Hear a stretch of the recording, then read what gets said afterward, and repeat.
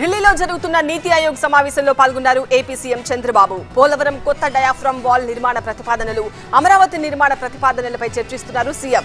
పోలవరం కొత్త diaphragm wall నిర్మాణానికి AP cabinet ఆమోదం తెలిపింది. పోలవరంతో పాటు మౌలిక సదుపాయాల ప్రాజెక్టులపై నీతి ఆయోగ్ సమావేశంలో ప్రస్తావించనున్నారు చంద్రబాబు. నీతి ఆయోగ్ సీఈఓ సుబ్రహ్మణ్యంతో కూడా చంద్రబాబు చర్చలు జరిపారు. ప్రధాని నేతృత్వంలో జరుగుతున్న నీతి ఆయోగ్ సమావేశానికి ఏకంగా ఎనిమిది రాష్ట్రాల ముఖ్యమంత్రులు డుమ్మా కొట్టారు. ముగ్గురు కాంగ్రెస్ ముఖ్య- ముఖ్యమంత్రులు తమిళనాడు ముఖ్యమంత్రి మాత్రం ఈ సమావేశాన్ని బాయ్కట్ చేస్తున్నట్టుగా ప్రకటించారు. బడ్జెట్ కేటాయింపుల్లో తమ రాష్ట్రాలకు వివక్ష చూపారంటూ Telangana CM Revanth Reddy Karnataka CM Siddaramaiah Himachal CM Sukhu ఈ సమావేశాన్ని బాయ్కాట్ చేశారు. వీరితో పాటు మరో ఐదుగురు నాన్ బీజేపీ పాలిత రాష్ట్రాల ముఖ్యమంత్రులు నీతి ఆయోగ్ కీలక సమావేశానికి దూరమయ్యారు. పంజాబ్ సీఎం భగవంత్ సింగ్ మాన్ జార్ఖండ్ సీఎం హేమంత్ సోరెన్ కేరళ ముఖ్యమంత్రి విజయన్ హిమాచల్ జార్ఖండ్ పాండిచ్చేరి రాష్ట్రాల ముఖ్యమంత్రులు హాజరు కాలేదు. ఈ మధ్య కాలంలో ఇంతమంది ముఖ్యమంత్రులు నీతి ఆయోగ్ సమావేశానికి డుమ్మా కొట్టడం ఇదే తొలిసారి. ఏపీలోని వరద ప్రాంతాలకు వెళ్ళనున్నారు మంత్రులు. వరద బాధితులను పరామర్శించి వారికి భరోసా ఇవ్వనున్నారు మంత్రులు అచ్చెన్నాయుడు అనిత నిమ్మల పార్థసారథి. బాధితులకు సాయం అందించడంతో పాటు నష్ట నివారణ చర్యలు తీసుకోనున్నారు. హైదరాబాద్ మహానగరానికి తెలంగాణ రాష్ట్ర బడ్జెట్లో పదివేల కోట్ల రూపాయలను కేటాయించినందుకు ధన్యవాదాలు తెలిపారు GHMC mayor Vijayalakshmi deputy mayor Srilatha Shobhan Reddy. ఈ మేరకు సీఎం రేవంత్ రెడ్డిని కలిసి కృతజ్ఞతలు తెలిపారు. ఇందులో జీహెచ్ఎంసీకి ప్రత్యేకంగా మూడు వేల అరవై ఐదు కోట్ల రూపాయలు కేటాయించినందుకు డిప్యూటీ సీఎం భట్టి విక్రమార్కను అభినందించారు. జీహెచ్ఎంసీ ప్రధాన కార్యాలయం ఆవరణలో టపాసులు పేల్చి మిఠాయిలు పంచిపెట్టారు నేతలు.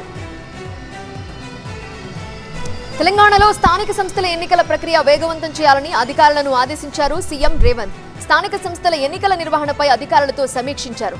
ఎన్నికల ప్రక్రియకు ఉన్న ఆటంకాలు అడిగి తెలుసుకున్నారు. వారంలోపు ఓటర్ జాబితా రూపొందించాలని ఆదేశించారు సీఎం.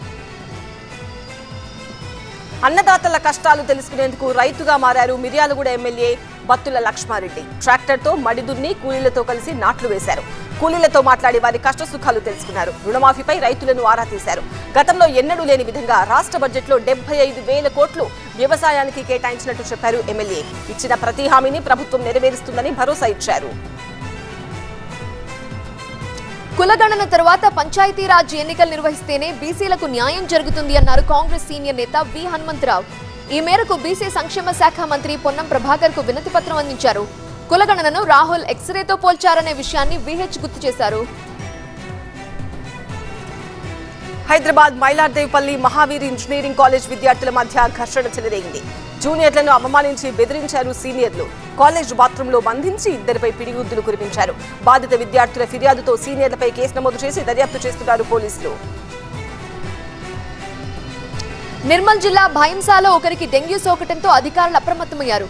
డిప్యూటీ డిఎంహెచ్ఓ ఆధ్వర్యంలో వైద్య బృందం కాలనీలను పరిశీలించింది. డెంగ్యూ వ్యాధి నివారణకు పలు సూచనలు చేసింది. ఖమ్మం జిల్లా సత్తుపల్లిలో పారిశుధ్యం పడకేసింది. ఎక్కడ చూసినా చెత్తే కనిపిస్తోంది. అపరిశుభ్ర వాతావరణంతో సీజనల్ వ్యాధులు చుట్టుముట్టాయని స్థానికులు చెబుతున్నారు రహదారులపై మురుగునీరు ప్రవహిస్తోంది. పారిశుధ్యాన్ని మెరుగుపరచాలని డిమాండ్ చేస్తున్నారు స్థానికులు. నాలుగు నెలల వయసులోనే ఫ్లాష్ కార్డులను గుర్తించి నోబెల్ వరల్డ్ రికార్డ్ సర్టిఫికేట్ పొందాడు హన్వీత్ కృష్ణ అనే అబ్బాయి. హైదరాబాద్ నిజాపేట్కు చెందిన డాక్టర్ కార్తికేయన్ రాజు కుమారుడే హన్వీత్ కృష్ణ. ఏ జంతువు ఏంటి అనే విషయాన్ని ఫ్లాష్ కార్డులను చూపిస్తూ తల్లి అడుగుతుండగా చేతి సైగల ద్వారా చెప్తున్నాడు సూపర్ ఇంటెలిజెంట్ కిడ్ ఈ మేరకు నోబెల్ వరల్డ్ రికార్డు వారు హన్వి తల్లిదండ్రులకు సర్టిఫికేట్ అందించారు.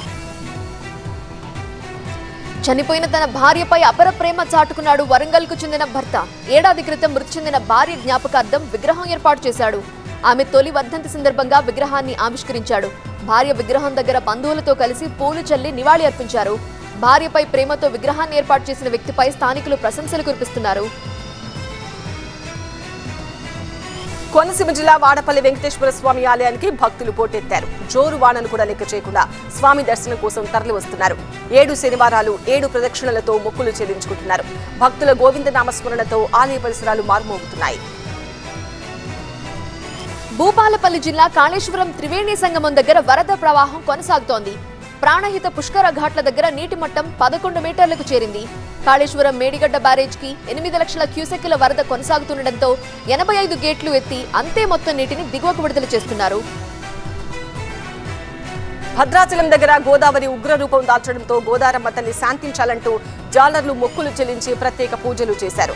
నిత్యం గోదావరి నదిపై ఆధారపడి బతుకుతున్న జాలర్లతో పాటు నదీ పరివాహక ప్రాంతంలో ఉన్న ముంపు ప్రాంతాల ప్రజలకు నష్టం జరుగుదని కోరుకున్నారు. గోదారమ్మ తల్లికి పసుపు కుంకుమ గాజులు సమర్పించి దండాలు పెడుతూ మొక్కులు చెల్లించుకున్నారు. తుంగభద్ర ప్రాజెక్టుకు వరద ప్రవాహం కొనసాగుతోంది. లక్ష మూడు వేల క్యూసెక్ల వరద వస్తుండగా ముప్పై మూడు గేట్లు ఎత్తి లక్ష ఇరవై ఎనిమిది వేల క్యూసెక్ల నీటిని దిగువ కొదులుతున్నారు. వరద ఉధృతితో నదీ తీర ప్రాంత ప్రజలను అప్రమత్తం చేశారు అధికారులు. కర్నూలు జిల్లా సుంకేశ్వర బరాజ్కు వరద పెరిగింది. ఇంట్లో ఎనభై రెండు వేల క్యూసెక్లు కొనసాగడంతో ఇరవై గేట్లెత్తి డెబ్బై మూడు వేల క్యూసెక్ల నీటిని వదిలేస్తున్నారు. నిర్మల్ జిల్లా కడెం ప్రాజెక్టుకు ఎనిమిది వేల క్యూసెక్ల వరద కొనసాగుతోంది. నాలుగు వందల యాభై ఆరు క్యూసెక్ల నీటిని దిగువకు వదులుతున్నారు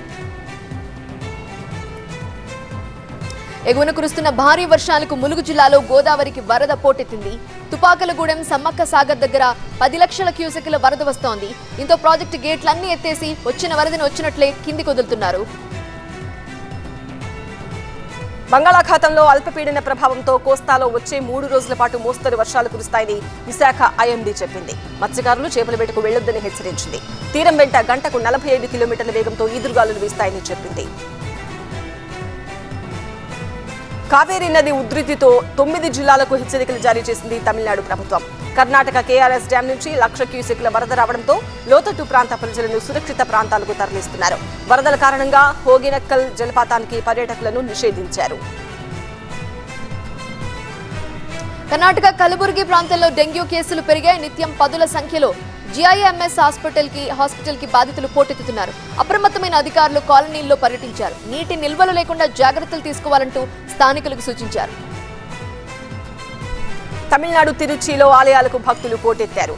తానాలక్ష్మి ఆలయంలో ప్రత్యేక పూజలు చేశారు. వేల రూపాయల విలువైన కరెన్సీ నోట్లతో అమ్మవారిని అందంగా అలంకరించారు. కరెన్సీ అమ్మవారి దర్శనం కోసం తెల్లవారుజాము నుంచి క్యూ కట్టారు భక్తులు. జమ్మూ కాశ్మీర్ శ్రీనగర్ నుండి అమర్నాథ్ యాత్ర కొనసాగుతోంది. కొత్త బ్యాచ్ను యాత్రకు అనుమతించారు పోలీసులు. ఉగ్ర కదలికల నేపథ్యంలో యాత్రికులకు భారీ భద్రత కల్పిస్తున్నారు. యాత్రికులను సైతం తనిఖీ చేసి పంపుతున్నారు. అలీఘర్ ముస్లిం యూనివర్సిటీలో ఐదేళ్ళ పాటు ఉన్న పీహెచ్డీ స్కాలర్లు హాస్టల్ గదులను ఖాళీ చేయాలని అధికారులు ఆదేశించడంతో విద్యార్థులు ఆందోళనకు దిగారు. కోర్సు పూర్తయ్యే వరకు హాస్టల్ ఉండేలా తమకు అనుమతించాలని కోరారు. జమ్మూ కాశ్మీర్ పూంచ్ జిల్లాలో నార్కో టెర్రరిజం కేసులో ఏడాది కాలంగా అరెస్ట్ కాకుండా తప్పించుకు తిరుగుతున్నాడు మహమ్మద్ లియాఖత్ అనే వ్యక్తి. దీంతో అతని ఆస్తులను సీజ్ చేశారు ఎన్ఐఏ అధికారులు. లియాఖత్ సమాచారం తెలిస్తే వెంటనే తమకు చెప్పాలని ఆదేశించారు పోలీసులు. లేహ్లో విధి నిర్వహణలో అమరుడైన జవాన్ గుర్ప్రీత్ సింగ్కు హర్యానా అంబాలాలోని స్వగ్రామం షేర్పూర్లో ప్రభుత్వ లాంఛనాలతో అంత్యక్రియలు నిర్వహించారు. గ్రామస్తులు అశ్రునయనాలతో తుది తుది వీడ్కోలు పలికారు ఆ సైనికుడికి.